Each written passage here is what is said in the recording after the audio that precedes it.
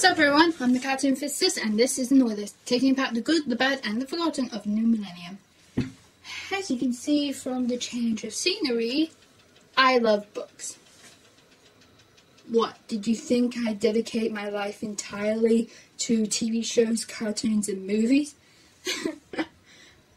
well, yeah, I do. But also books. Hell, it's been a dream of mine to become a published author. But once a published author becomes famous, or at least noteworthy, Hollywood gets their claws into them. But still, there are some books out there we would like to see on big screen, as long as executive meddling isn't involved. Excuse me. Uh, according to Internet Reviewer Law 28.6, Section 3, Subsection 5, if you do a video involving a subject matter that falls within the purview of another reviewer, and you have not previously done a crossover with said reviewer, then you must do a crossover in the aforementioned video. Then why didn't, say, Linkara did a crossover with me on my review of The Tick? Oh, well, I might be the only reviewer that follows these laws to the letter. This is just an excuse to do a crossover, isn't it? Yeah, pretty much. Well, I've heard worse excuses. This is the top 10 books and book series that should be adapted into movies. Why top 10? Because of the whole top 11 thing, now top 10 is being unused. Poor little 10. Be in the year 2000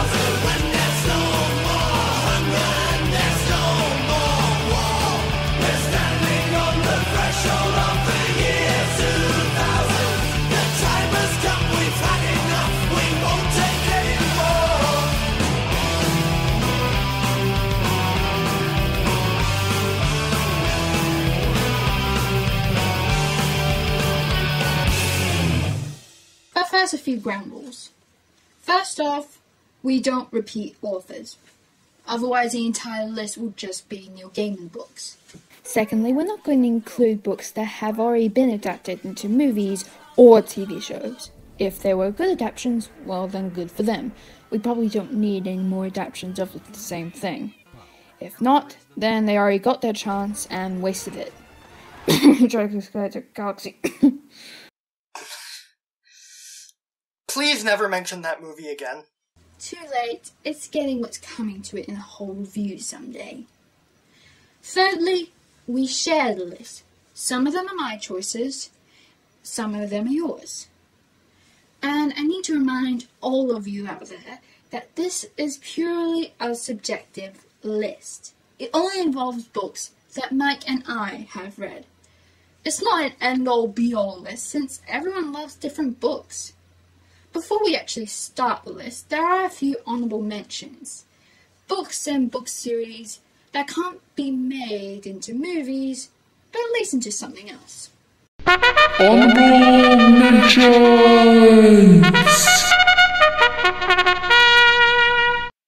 The Fangs Enigma Vampire Spy series by Tommy Donbavand.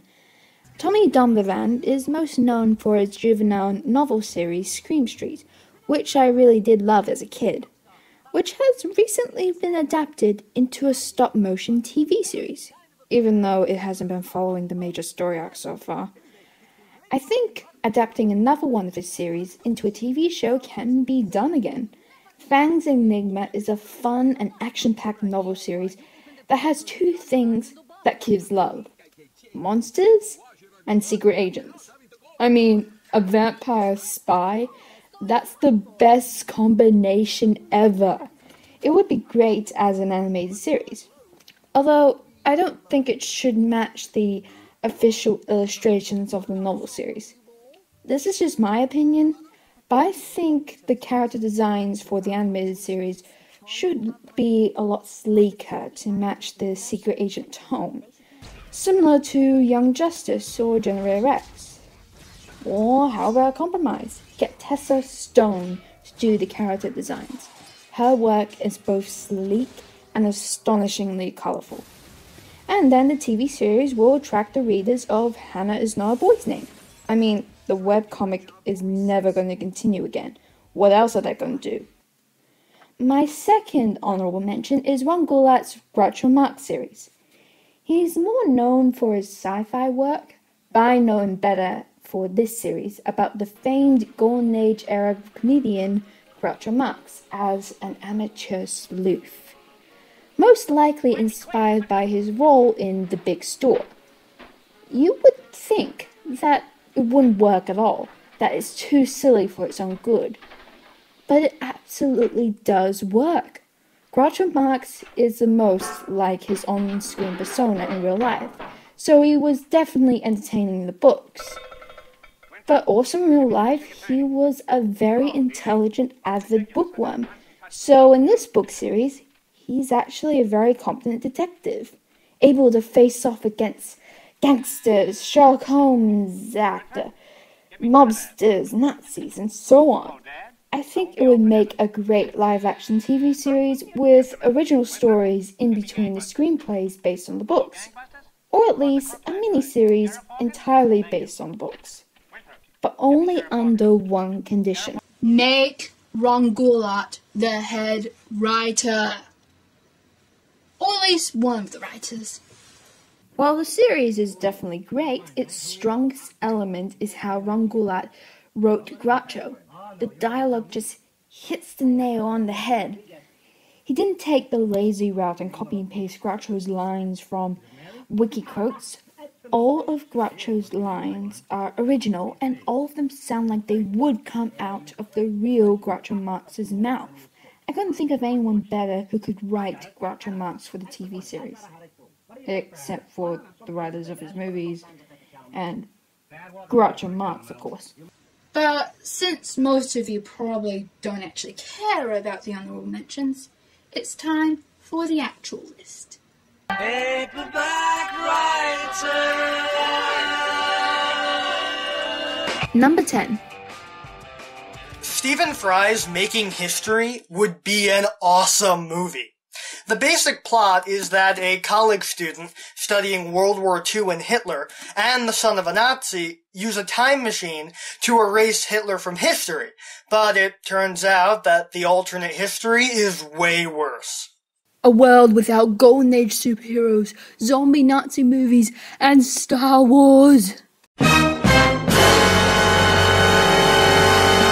Also, a world where the Nazis thrived and nearly wrecked the rest of the world, turning America into a police state.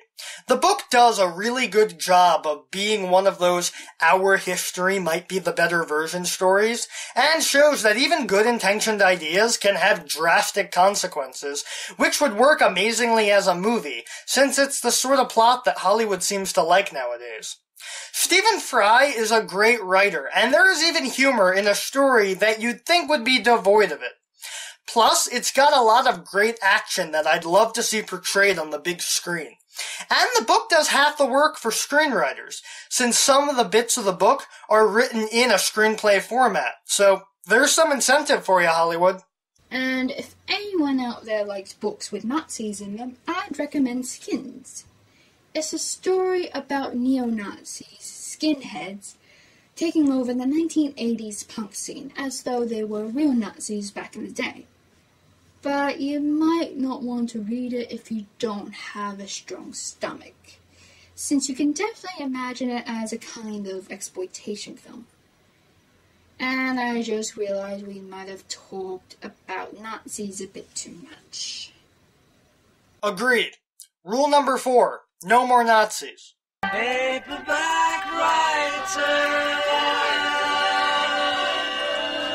Number 9 Night of the Living Trekkies.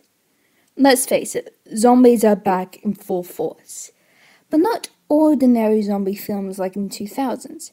I'm talking kitsch zombie films. Cooties, Deathgasm, Cockneys vs. Zombies, Scout's Guide to the Zombie Apocalypse, all of these movies are way more creative than the ones during the zombie boom of the 2000s. having some sort of kitsch element that honor the exploitation films of the past. So why not continue with this new craze by having a zombie outbreak in a Star Trek convention? Written by Kevin David Anderson and published by Quirk Books, which also published Abraham Lincoln Vampire Hunter and Pride and Prejudice and Zombies, this book has what you expect humor, horror, and geeky pop culture references. I'm not a fan of Star Trek, but I do like films and such that deconstruct the show and its fandom in humorous ways. Like Galaxy Quest or the Animaniacs episodes that somehow involve Star Trek. So I think this book would make a great movie to watch for horror fans and sci fi geeks alike.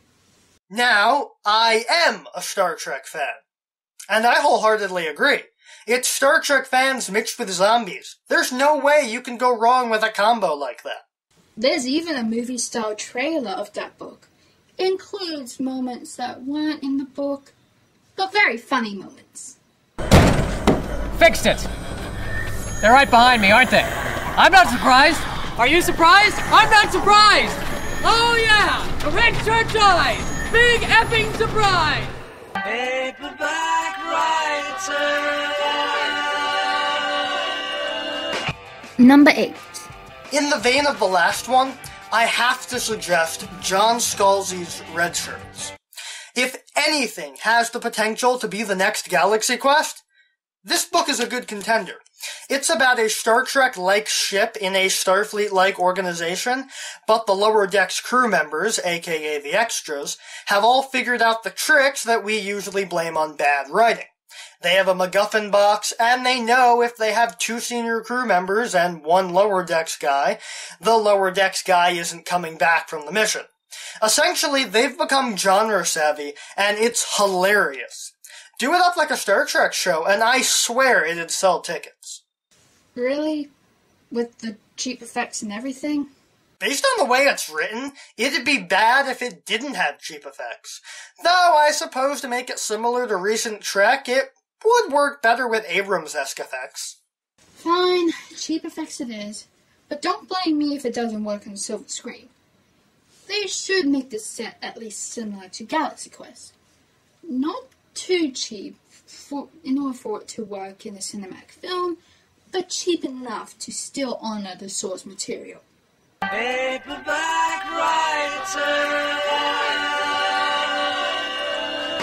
Number 7. John Green's An Abundance of Catherines. I mean, there's already a Fault in Our Stars movie, a Paper Towns movie, and a Looking for Alaska movie is in the works, and this book is the only one that hasn't had a movie get past the planning stages.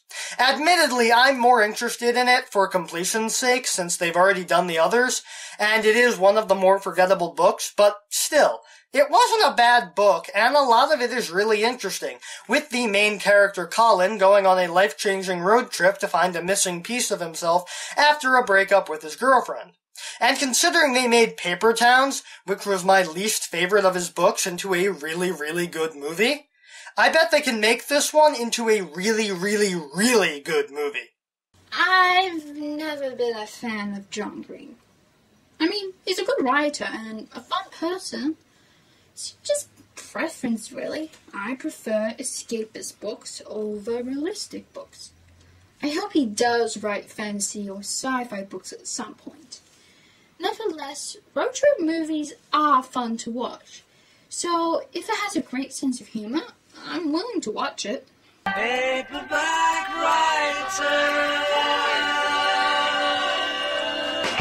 Number 6. Doctor Sleep by Stephen King. Five words. A sequel to The Shining. Two more words. Hell yeah. It might be controversial to most of you out there, or maybe even downright blasphemous. A sequel to The Shining? It shouldn't be done! I mean, The Shining is one of Stanley Kubrick's greatest films, and Stanley Kubrick is one of the greatest filmmakers of all time. And dead, so a sequel will be out of the question for you. But think of it this way There are a lot of filmmakers out there now who have been influenced by Stanley Kubrick and could make this a great tribute to him, make what AI couldn't achieve fully, as well as please Stephen King for once. Like Jaco van Dormael, who has done shots that seem impossible and has a style that would suit a Stanley Kubrick homage. And the plot of the book would work well for a film. It's about a 40 year old Danny Torrance, now working as an orderly. He finds out he has a half niece named Abra who also has psychic powers. They soon find themselves on the run from the True Knot, an immortal tribe that feeds off the psychic powers of children when they torture them. Combine a Stanley Kubrick homage with a fantastical thriller, and you get one of the greatest sequels of all time, along with Terminator 2, Toy Story 2, Evil Dead 2, and The Empire Strikes Back. I think this is a great idea, and I haven't even read the book, which I totally should. And if it doesn't work out, we could end up seeing one of the best Stephen King time reviews from Nostalgia Wing.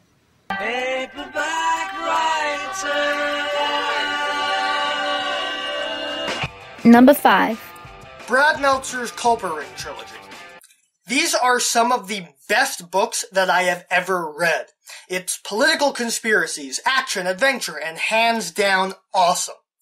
They'd have to do it up like Peter Jackson's Lord of the Rings movies because they can't cut anything out of these movies because every single minute detail in the book is important. It's about a man named Beecher who works for the National Archive getting drawn into political conspiracies involving the president, a childhood friend, and his dead father. It's utterly amazing and something totally deserving of being up on the big screen.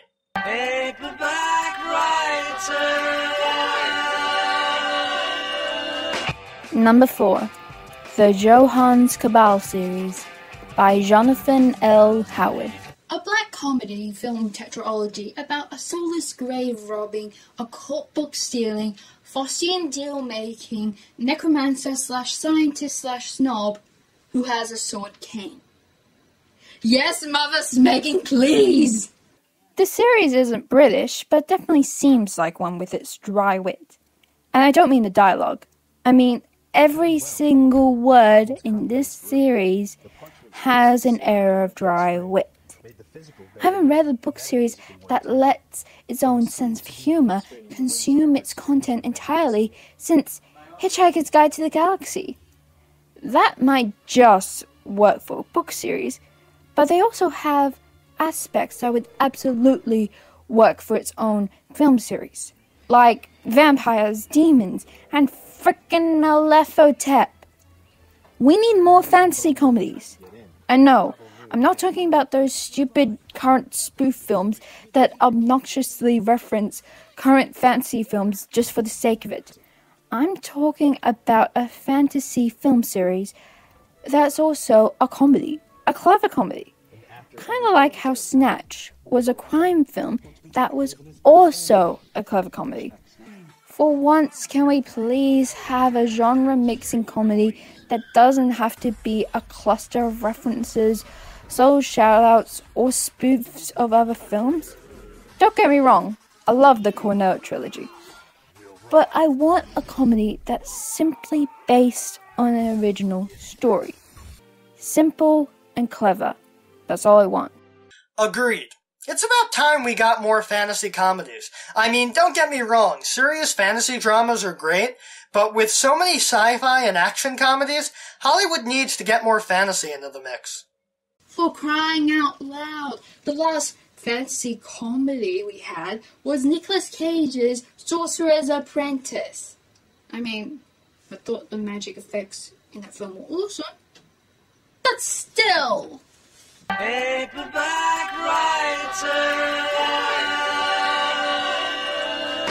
Number 3 Supreme Justice by Max Allan Collins. It's another political thriller, much like Meltzer's trilogy, but on a completely different spectrum. The book is about an ex Secret Serviceman who gets embroiled in an investigation into the assassinations of all the Supreme Court justices. There's action, humor, and twists that would make Shyamalan blush. Maybe including Shyamalan in your praises isn't such a good idea. Well, not recent Shyamalan. Sixth Sense Shyamalan. The book manages to make you think, and even I was shocked about who the bad guy was in the end, and I usually figure stuff like that out pretty early on.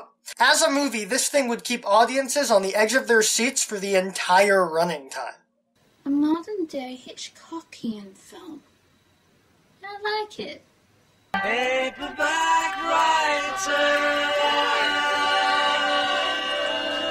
Number 2.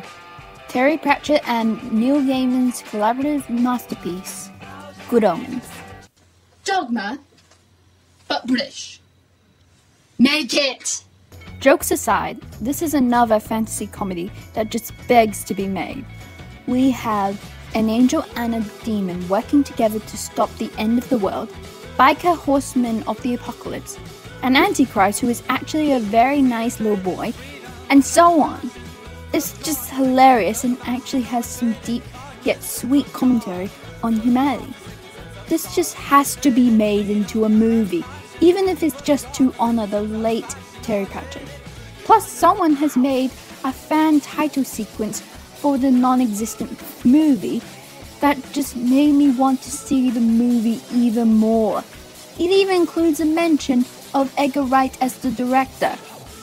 That's just brilliant. Edgar Wright's sense of humor and editing style, combined with Terry Pratchett and Neil Gaiman's writing, would make an awesome fantasy comedy. Probably the best. Very well said.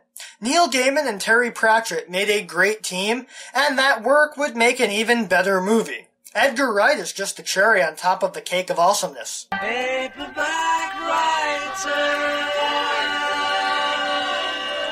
And number one is the Skulduggery Pleasant series by Derek Landy.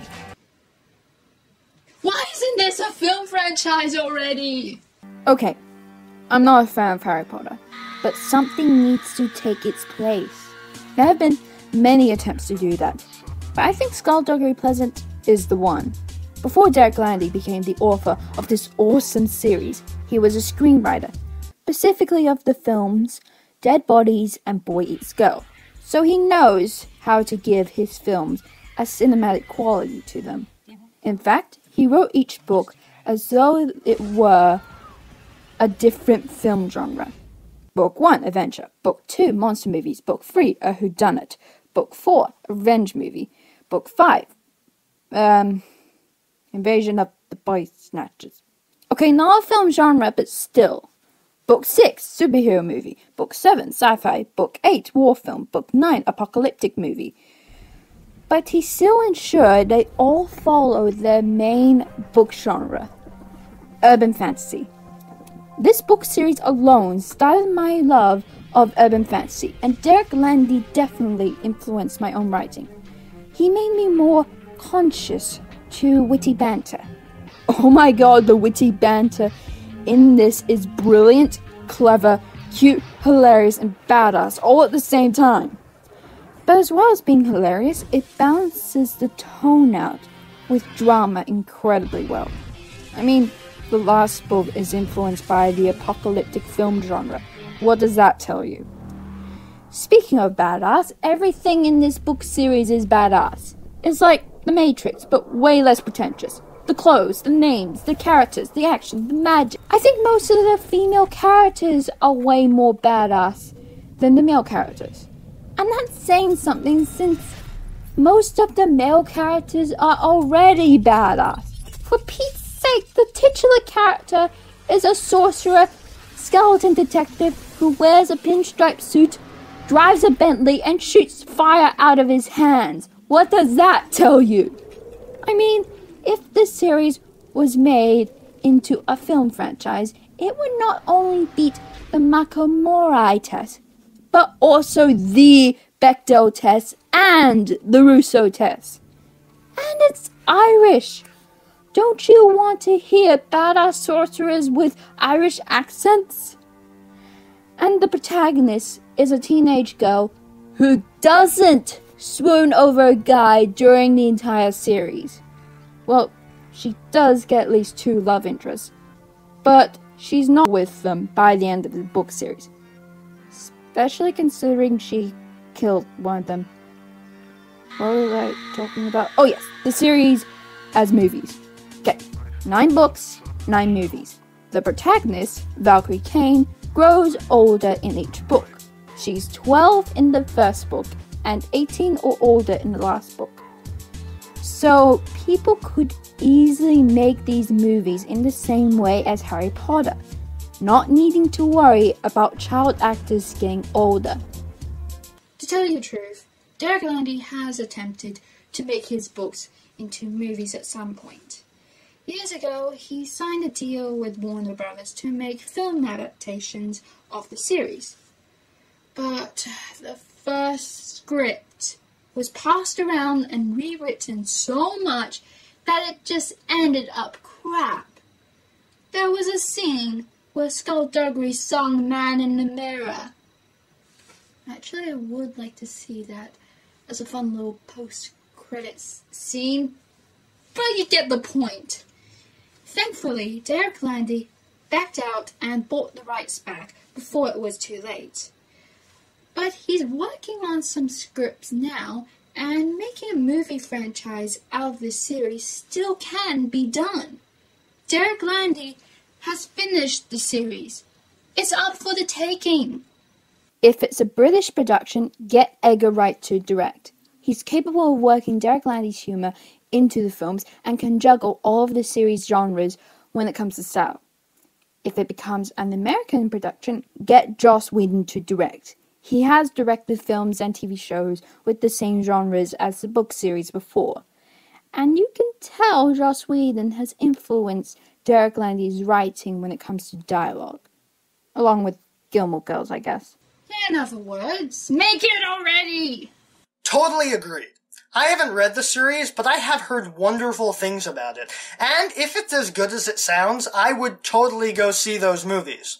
The genre hopping would also keep the movies from falling to a stale formula as many series do. Also, I should totally get to reading them. I think that's been in my two review pile for years now. Just remember to bring tissues. Derek Landy loves to troll his fans by killing off beloved characters. Or put them through excruciating pain. And yet we still love him. Well, everyone still likes George R. R. Martin. Maybe readers are just masochists. Either that or authors are sadists. And there we go. A top 10 list of movies we want to see that Hollywood will surely ignore and just choose books that are similar to either Hunger Games or Twilight. God, our world is messed up. Could be worse. They could make a movie out of the gender reverse Twilight book and repeat the same mistakes that the original ones made. And now we are giving them ideas. Way to keep things to yourself. Never mind. I gotta get ready for a special time of the year that everyone has been waiting all year for. The release of the new Star Wars movie.